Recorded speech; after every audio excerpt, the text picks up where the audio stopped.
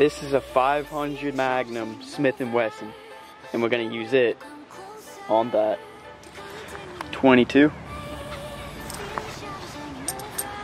9 millimeter, 38 special,